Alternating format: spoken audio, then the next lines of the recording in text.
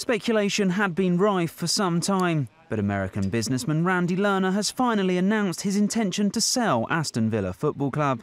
The Premier League side finished down in a disappointing 15th position this season, under the guidance of manager Paul Lambert. And in a statement released on Monday, Lerner had this to say I feel that now is the time for me to look for new ownership and thus new leadership. Alluding to some of the club's struggles, he went on to add, The last several seasons have been week in, week out battles. The 51 year old bought the Midlands club back in 2006.